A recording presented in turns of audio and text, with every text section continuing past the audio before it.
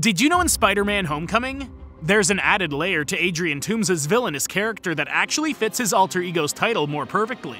With this movie's version of the Vulture, he salvages alien technology from the battle on New York, which occurred during the events of the Avengers, and reworks it for his own use and to be sold on the black market to whoever's looking to buy advanced weaponry.